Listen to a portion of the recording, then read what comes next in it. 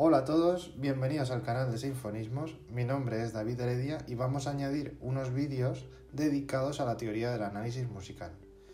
Explicaremos concretamente con esta serie de vídeos qué es una suite barroca y sus características, así como las danzas más habituales que debemos conocer. Vamos allá. Como ya dijimos en el anterior vídeo, la suite barroca es una obra compuesta por un conjunto de, habitualmente, entre 4 y 9 danzas, más el preludio inicial que presenta toda la suite. El término de suite tiene otras excepciones que son sinónimos, como partita, que es de origen alemán, u ordre, de origen francés. De entre todas ellas, en este segundo capítulo vamos a comenzar por la alemanda, que tiene su origen en Alemania. Escuchamos un primer ejemplo de la suite inglesa número 2 BWV 807.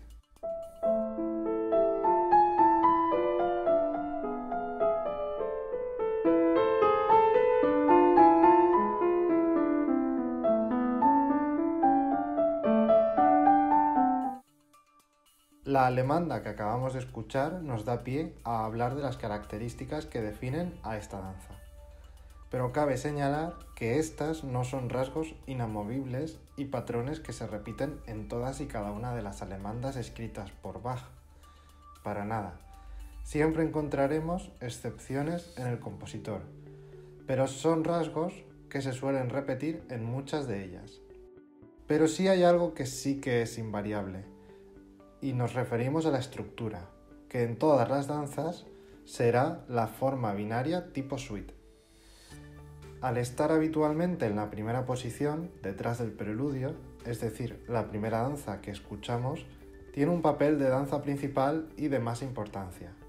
Su tempo es moderado y su compás variará entre un 4x4, un 2x2 o un 2x4. En cuanto a sus características melódicas, destaca que su inicio es siempre anacrúsico, con semicorcheas. A veces una, a veces dos y otras tres semicorcheas. El patrón rítmico característico de la alemanda a nivel histórico es el que veis en la diapositiva, pero en las suites de Bach, como no, estará más bien difuso.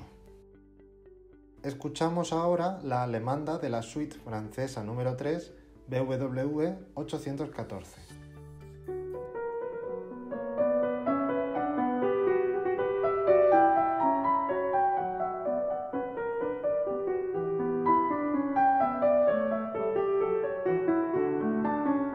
Si os fijáis, efectivamente la danza está en un compás de 4x4 y se inicia con una, cruza de 3 semicorcheas. Obviamente el tempo que aparece ahí escrito de allegro moderato, negra igual a 92, no es de Bach, sino que estamos ante una edición de la partitura. Es decir, que algún pianista o compositor, muchos años después de la composición de la obra, decidió hacer su propia edición de la partitura agregando a su propio criterio matices, articulaciones y digitaciones para el intérprete, elementos que como ya sabréis no se escribían en el estilo barroco. En cualquier caso, la indicación metronómica es bastante acertada tratándose de una alemanda. Y por cierto, ¿habéis oído alguna progresión en este breve fragmento? Vamos a escucharlo de nuevo.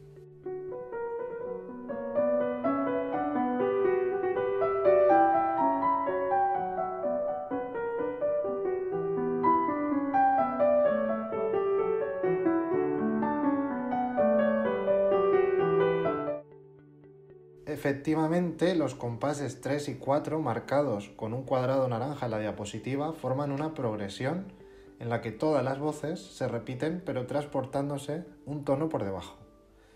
Y os daré un dato que es bastante importante. Las progresiones son un elemento básico en el discurso musical de Bach y muchos otros compositores del barroco.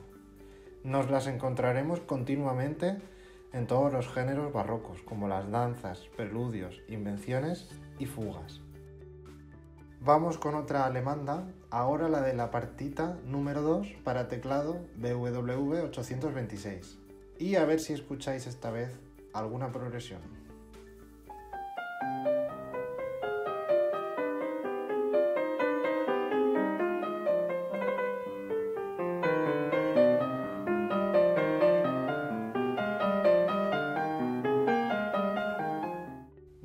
Tenemos un compás de 2x2, una anacrusa de 3 semicorcheas y un tempo moderado.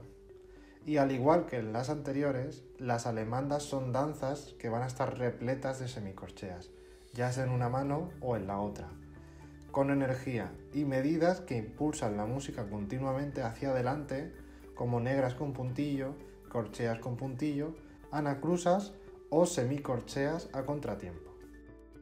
Y por cierto, también había una progresión, a un intervalo de segunda ascendente, esta vez más breve que antes, una progresión a distancia de blancas, pero que se ha repetido hasta cuatro veces.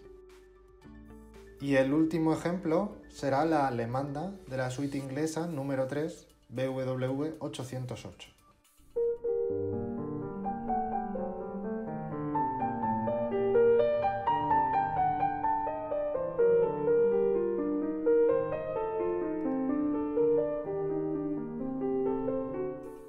De nuevo, encontramos ese ímpetu hacia adelante con esas rítmicas de anacrusas de tres semicorcheas y un motor constante a semicorcheas.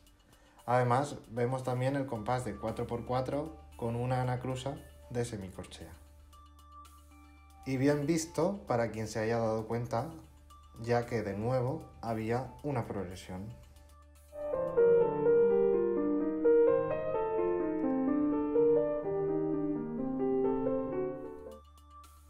En los próximos capítulos seguiremos desgranando cada una de las características más importantes de las danzas principales de la suite. Si queréis seguir viendo los vídeos de esta serie dedicada a la suite barroca, aquí os dejo con el enlace al siguiente capítulo.